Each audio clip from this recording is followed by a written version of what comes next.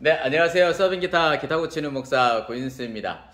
제 유튜브 계정이 아예 사라졌습니다. 그래서 어, 여러분들에게 도움의 요청에 영상을 찍고 있습니다.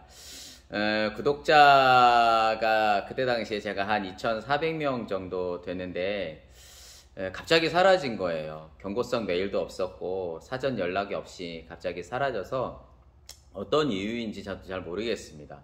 다방면으로 알아봤는데 어, 알 방법이 없어서 오늘서부터 영상을 찍게 되는데 유튜브 카테고리에 보면 커뮤니티라고 있습니다. 그 커뮤니티를 활용하기 위해서는 구독자 1000명이 넘어야 되거든요. 제가 유튜브 영상을 통하여서 기타 리뷰나 수리 영상 같은 거 그러한 그 외에 활동하는 것들을 올리는데 영상을 보지 않으시더라도 한번 다시 구독해 주시기를 부탁드리겠습니다.